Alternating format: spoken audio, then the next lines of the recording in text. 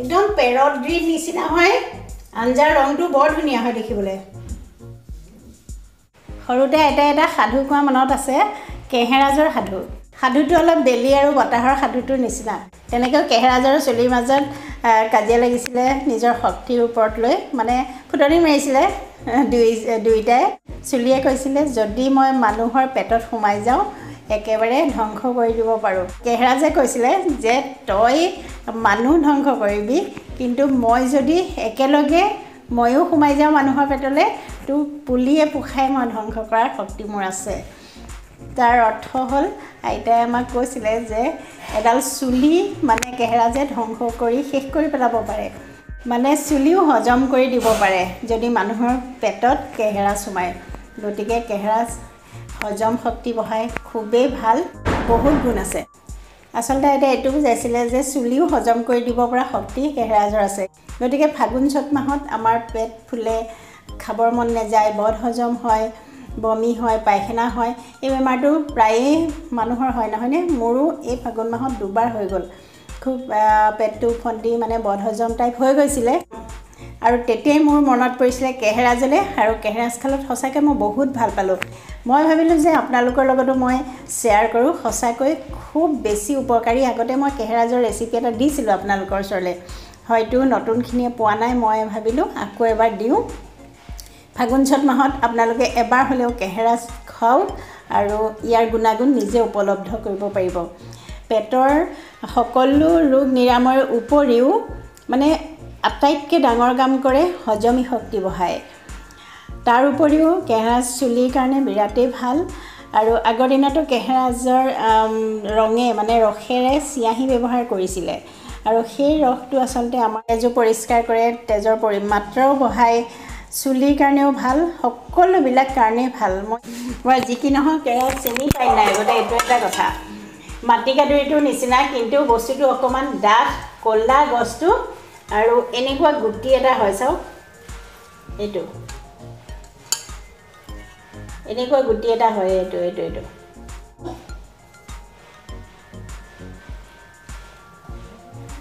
বাৰীবিলাকত খুব সহজতে পোৱা যায় এইটো।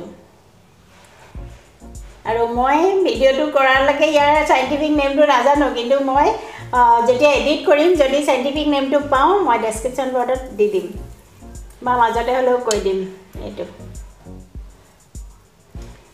গতিকে চিনি পালে চাগে আপোনালোকে কেহেৰাজটো। আৰু এইখিনি যদি কোমলীয়া কেহেৰাজ পায় আপোনালোকে আগখিনি ছিঙি ল'ব। আৰু এতিয়া মোৰ অলপ বেছি কোমলীয়া নহয় ইয়াৰ আগখিনি দিম। আৰু গোটেই পাতবিলাক মই ব্যৱহাৰ কৰিম। এইখিনি ভালকৈ পাতখিনি গুচাই মই মিক্সিত এটা পেষ্ট বনাই লওঁ। সেইখিনি নেদেখোঁ আৰু পেষ্ট বনোৱালৈকে। মই মনমি ছেম মনমি কিটচেনৰ আন এটা ভিডিঅ'লৈ আপোনালোকক স্বাগতম জনাইছোঁ।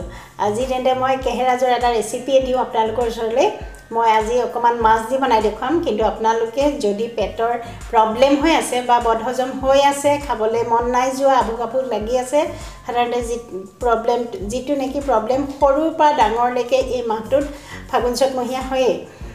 গতিকে আপোনালোকে তেতিয়া মাছটো অকল স্কিপ কৰিব মাছটো নিদিব আৰু বাকীখিনি একেবাৰে একে। কেৰাহী গৰম হ'ল অলপ সৰিয়হৰ তেল দিছোঁ।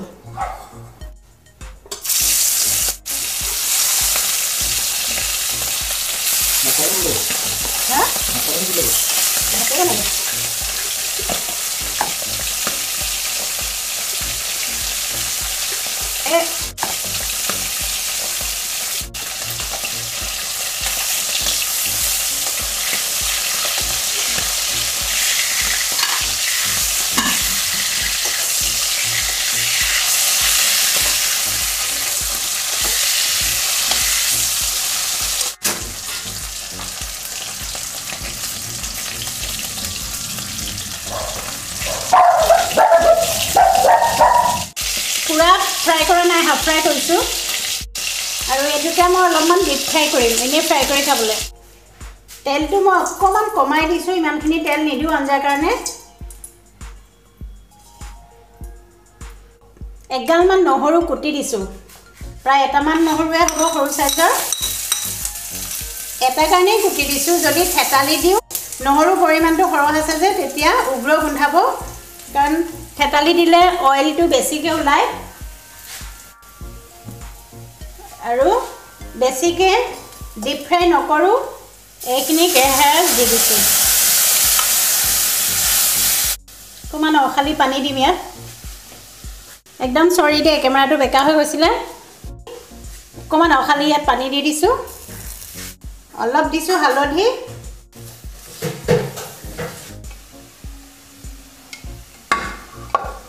এটা বইল কৰা আলু আছে আলুটো দি দিম।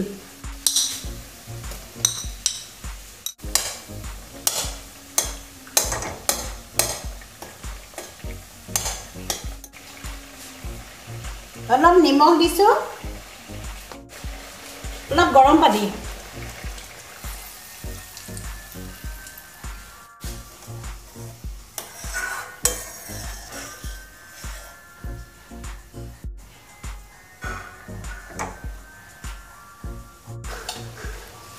ইয়াত মাত্ৰ অকল জালুকৰ গুড়ি দিম।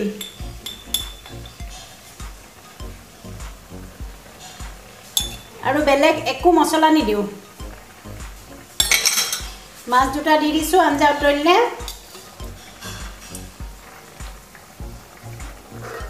মোৰ যিহেতু আঞ্জা কম মই দুটা মাছেই দিছোঁ।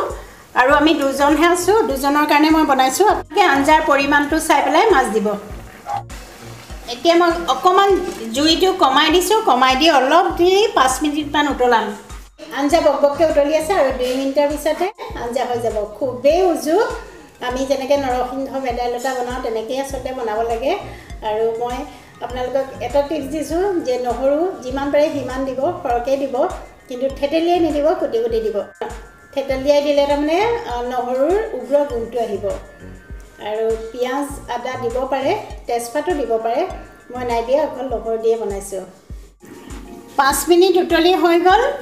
মই গেছ অফ কৰি দিলোঁ। আপোনালোকক উদঙাই দেখুৱাইছোঁ। এই আঞ্জা ৰেডি